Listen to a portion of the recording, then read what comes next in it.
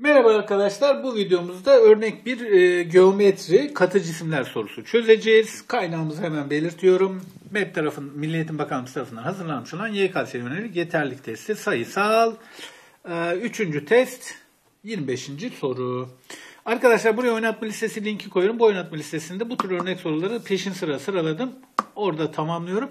Bu kitaptan seçtiğim genelde arkadaşlar soruların bazılarını o oynatma listesinde bulabilirsiniz. Ayrıca sevgili arkadaşlar burada görmüş olduğunuz testlerin e, tamamı kanalımda mevcuttur çözümleri konu anlatımlı olarak. Bunları da sana şiddetle tavsiye ediyorum. Bunları da çözmek senin hayrınadır sevgili arkadaşım. Tamam mıyız? Güzel.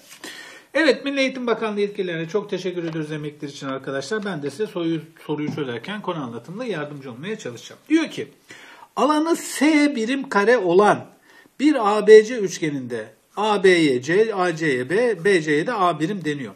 Bu üçgen uzunluğu A birim olan kenarı etrafında 360 derece döndüğünde oluşan cismin hacmi kaç birim küptür? Ee, şöyle mi göstereyim ya? Öyle göstereyim. Tamam öyle mi göstereyim? Böyle mi göstereyim? Böyle göstereyim. Arkadaşlar şöyle göstereceğim. Bak şöyle bir üçgen aldım. Şuraya A dedim. B dedim.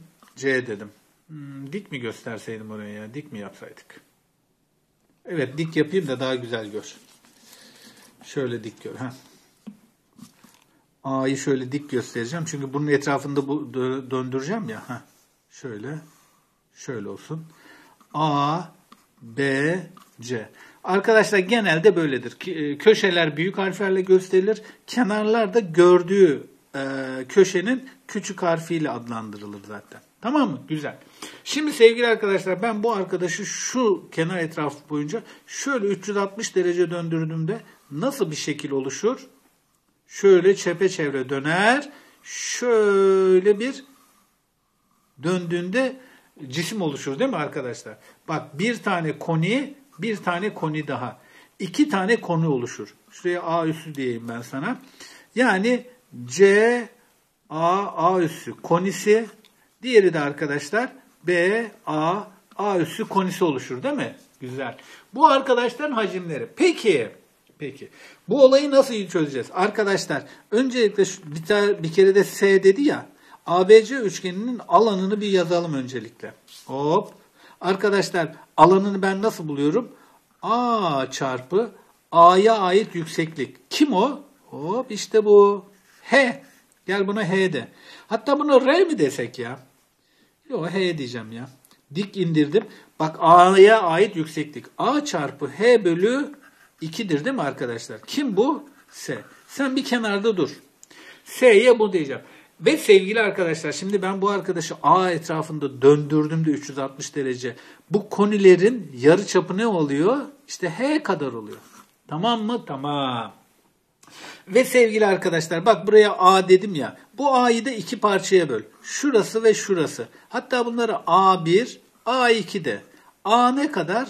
A1 artı A2 kadar. Tamam mı? Tamam. Koninin hacmi neydi arkadaşlar? V koni 1 bölü 3 taban alanı çarpı yükseklikti değil mi? Harika.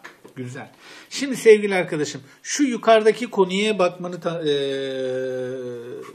hop istiyorum senden. Yukarıdaki konuya bak. Bu arkadaşın hacmi ne kadar? Taban alanı ne kadar öncelikle arkadaşlar? Bak pi r kare değil mi? Pi r kare. E, r'si arkadaşın h. Yani pi çarpı h kare. Değil mi? Pi h kare. Ee, çarpı yükseklik ne kadar? Yüksekliğim de a1 kadar. Bölü 3. Cepte mi cepte? Artı. Aynı şekilde alt tarafın nasıl arkadaşlar? Yine r. R'si H kadar. Pi H kare taban alanı. Çarpı yüksekliğim ne kadar?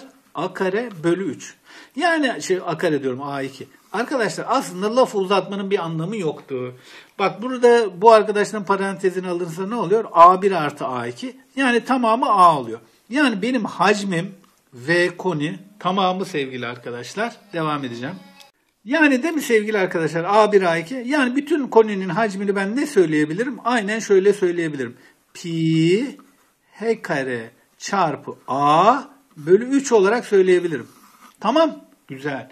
Şimdi hocam buradan şıklardan bunları nasıl söyleyebileceğim? E sevgili arkadaşlar bakın burada AH gördüğüm yere ne yazabilirim? A çarpı H şuradan gideyim. Yok olmasın. A çarpı H iki tane S yapar arkadaşlar. Tamam. Devam. Evet sevgili arkadaşlar. A çarpı H gördüğüm yere 2S yazabilirim. Peki burada nasıl düzenleyeceğim? Şu şekilde. VK eşittir. Pi çarpı H kare çarpı A bölü 3 ya sevgili arkadaşlar. Şimdi AH evet bir tane görüyorum ama Şimdi kare var H'den kurtulamayacağım. O yüzden arkadaşlar burayı A ile çarpıp A ile bölüyorum. Herhangi bir değişiklik yapmadım. Derdim ne? Şu. Derdim burada H çarpı A'nın karesini elde edebilmek. Güzel. Bölü 3A. E sevgili arkadaşlar A çarpı H'ye 2S dediysek pi çarpı 2S'in karesi de ne olur? 4S bölü 3A olur. Soru da nihayete erdirilmiş olur. Bunu da nerede görüyorum sevgili arkadaşlar? 4pi s kare s kare 3a. E şıkkında zaten bana verilmiş. Anlaştık değil mi? Gayet güzel bir soruydu sevgili arkadaşlar. Matematikte biraz cilveleriyle uğraştık. Bir takım hareketler yaptık, yaptık dar alanda kısa paslaşmalar şeklinde. Rövaşata vesaire attık gibi. Tamam güzel. Arkadaşlar e, çözümümüz bu kadar. Kanalımıza abone olmak serbesttir. Eğer beğendiyseniz arkadaşlarınızla paylaşmak daha da serbesttir. Videonun başında göstermiş olduğum şu testleri sana tekrar hatırlatıyorum. Bunları da çözmek senin hayrınadır. Şiddetle tavsiye ederim. Hepsinin de çözümleri kanalımda mevcuttur. Evet sevgili arkadaşlar böylelikle bu videomuzun da sonuna gelmiş bulunuyoruz. Dinlediğiniz seyrettiğiniz için teşekkür ederim. Umarım sizler için faydalı bir video olmuştur. Sağlıcakla kalın.